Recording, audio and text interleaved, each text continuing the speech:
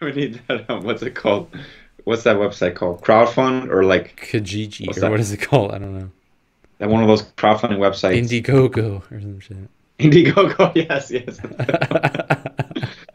Here's my vision, guys. My pitch to the world. you can crowd Tired of this? crowdsource everything, bro. yeah, for real. All I need is a couple mil to make this project. That's it. Thanks. No, that's the later. best. There's like that, you know, that guy, what's his name from that London Real thing? Yeah, Brian Rosen. Yeah. He's like continuously asking for money. And he's like, yeah, Yeah. we got to build this digital freedom platform, guys. Digital freedom Mm. platform. But he's the only one who can post shit on it.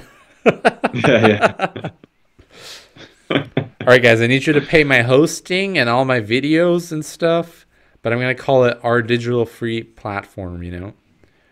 For Yeah. uh it's free to you guys, but you got to pay at the same time. it's it's free to, for you guys to watch, but you got to pay for it just so we can put it up for you to watch, you know? Yeah. I mean, I feel like that's that, that's what's happening nowadays more in general with media. It's like a lot of these groups and journalists they're trying to isolate their own whatever their own kind of worlds or space or industries and have their own platforms and have people pay on that end. And here's the thing: here's like if he has people that are willing to pay and support, by all means, that's awesome. Like I'm not against that, but you know, It's just funny that he he's the only one like that had his money raised to pay for the platform and Yeah. also probably in the future you'll have to pay again like for a subscription or something.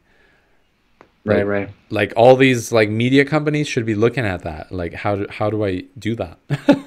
Exactly. how yeah. do I how do I make that happen, you know? And monetize your current fan base or your current subscription base separate, Over- you know. source fund the crowd fund the the platform making slash video hosting you know because the video is like on Dailymotion or some shit Yeah, yeah, Dailymotion, dude. and you got to pay for that i guess if you get a lot of views or something and Yeah. um that's just crazy like how how much money people like just throw and scam and Yeah. it's just it's just crazy